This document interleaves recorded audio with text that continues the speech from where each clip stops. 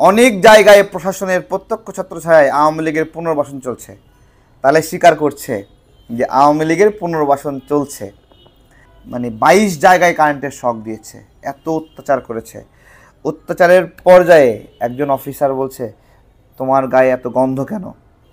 তা আমি বললাম, আমি তো প্যান্টের মধ্যেই আমার এত অত্যাচার করেছে, সেখানেই প্রস্রাব হয়ে গেছে, পায়খানা হয়ে গেছে। দুর্গন্ধ কেন বোঝেন? তো এই রকম অত্যাচারের মধ্য দিয়ে আমার অত্যাচার তো সীমিত। কিছু কিছু রাজনৈতিক কর্মী আছে, ছাত্র শিবিরের, ছাত্র দলের, তাদেরকে এত পরিমাণ টর্চার করছে যেগুলো আপনারা চিন্তাও করতে পারবেন না। মানুষ কতটুকু আবেগ নিয়ে দেখেন মানে এই ত্রাণ নিয়ে কাজ করছে যে একটা মানুষ খালি প্লাস্টিকের বোতল কিনছে, নিজের বাসায় যে পিওরিট ডি মানে হলো পানির ফিল্টার ওই পিওরিট ফিল্টার থেকে পানি ভরায় ভরায় ভরায় ভরায় দশটা বোতল এক জায়গায় করে নিয়ে আসছে। যে একটু সাশ্রয়ী বেশি বেশি জিনিস সাপোর্ট দেওয়া যায়। সেই পানির বোতল সব ফালায় রাখছে। তো তো এগুলো কি বলব? অনেক অনেক কথা আছে, অনেক কথা আছে। এখন ষড়যন্ত্র হচ্ছে যে গণতন্ত্র ছাড়াই, ভোট ছাড়াই অনেক দিন ক্ষমতায় থাকার ইচ্ছা হচ্ছে ওদের। অনেক দিন থাকতে চায় তারা। আওয়ামী লীগের পৃষ্ঠপোষকতা করে অনেকদিন ক্ষমতায় থাকবা হ্যাঁ? এই জন্য সাধারণ মানুষরা আন্দোলনের নাম ছিল তোমরা এই কথাটা বললা কীভাবে? যে ক্ষমতার পালা বদলের জন্য গণ অভ্যুত্থান হয়নি। আরে, দেশের মানুষ ক্ষমতার পালা বদল চায়। দেশের মানুষ চায় কেউ একটা না অনেকদিন ক্ষমতায় না থাকুক। আজকে সমন্বয়কদের একজন বলল, কয়েকজন সমন্বয়ক বেইমা- বেইমানি করতে চেয়েছিল। গোপন তথ্য ফাঁস করলেন সব ফাঁস হয়ে যাচ্ছে। আর একজন সমন্বয় কী বলতেছে দেখেন। কে করছে? কার এই ক্ষমতা আছে। কে আওয়ামী লীগের বাড়িতে গিয়ে মিটিং করছে, মিছিল করছে? এইগুলো অনেক কথা অনেক কথা, প্রিয় ভাইরা আমরা একটা অনেক কষ্ট করে এই লড়াইয়ে জিতেছি। আমাদের চোখের সামনে আমাদের ভাইদেরকে আমরা মরতে দেখেছি।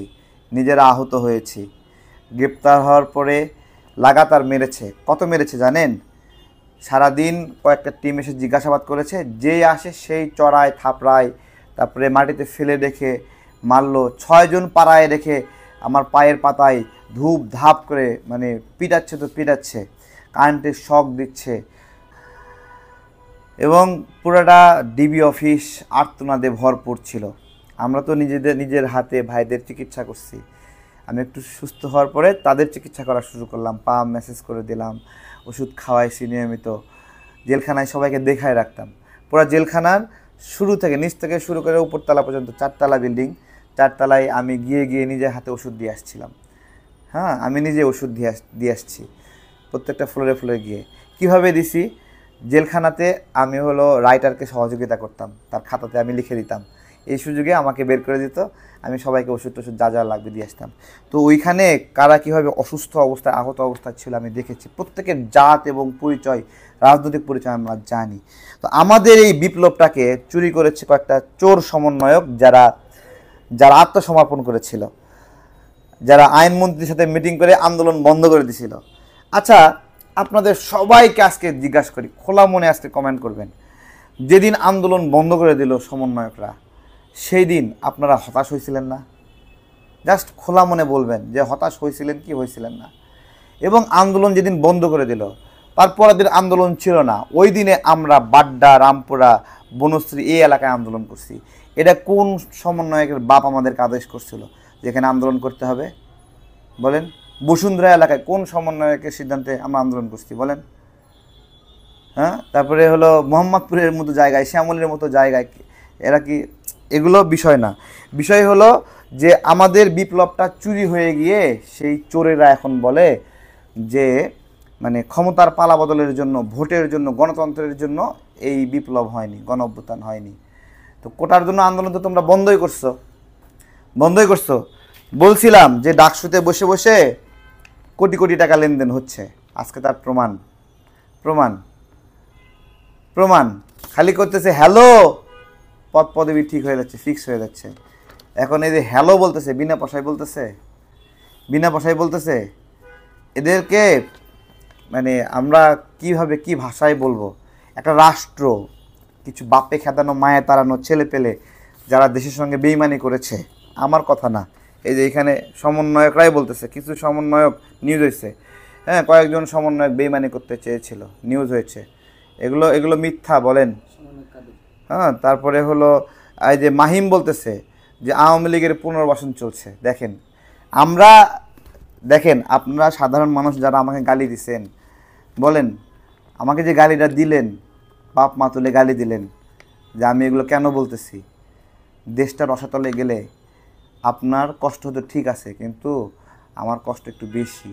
অনেক অত্যাচার সহ্য করছি তো, বছরের পরে বছর। আমার কষ্টটা একটু বেশি।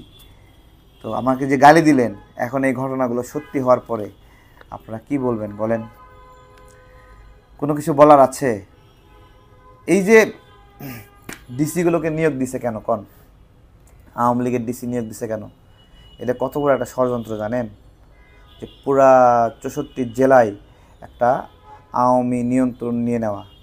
এরপরে পাল্টা কুড়া হবে। এখনও সেই ডিসিদেরকে বহিষ্কার করা হচ্ছে না। তার মানে কি? তার মানে তারা সিদ্ধান্তে বলবৎ আছে, অটল আছে। খুব সহজ, অনেকের মাথায় ধরবে না। ও ডিসি কি করবে? আরে ভাই ডিসি তো একটা জেলা চালায়। তাহলে চৌষট্টি জেলায় চৌষট্টি দিন আওয়ামী ডিসি নিয়োগ দেওয়া মানে কি? মানে হাসিনা আসলে সঙ্গে সঙ্গে প্রোটোকল দেবে। আপনারা বুঝতেছেন না এগুলা। আমি যে কোন কষ্ট থেকে এগুলো বলি, ফুয়াদ ভাই আর আমার কথাগুলো মিলে যাচ্ছে। ফুয়াদ ভাই বলছে, আমি বলছি, পরে দেখি একই রকম হয়ে যাচ্ছে। আসলে সত্যিকারের অর্থে হিম্মত নিয়ে যদি কেউ- যদি কথা বলে, তাহলে সমন্বয়কদের এই আওয়ামী লীগের সঙ্গে আতাতের বিষয়টি বলতেই হবে। বলতেই হবে। না বললে তার মুখ দিয়ে সত্য ইতিহাস আসবেই না ভাই। সত্য ইতিহাস আসবে না। যদি কেউ এই কথাগুলো না বলে, ত্রাণের বিষয়টা বলি, একটু বলেই শেষ করব। কথাগুলো বারবার বলতেছি, আজকে সুযোগ আসতে বলি। আরও কবে পুনর্বাসন করবে? বলেন।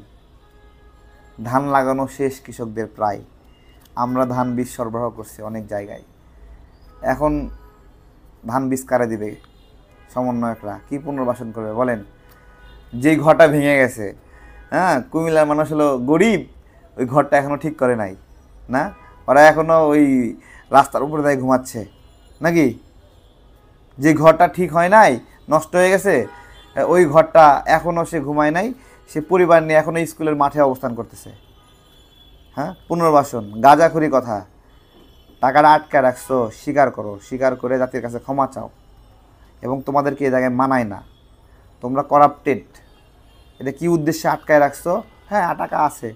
টাকা সঠিক সময়ে সঠিক জায়গায় না লাগাটাই একটা দুর্নীতি। তোমার কাছে টাকা রাখছো কেন তুমি? তোমার অধিকার আছে? অধিকার আছে? মানুষ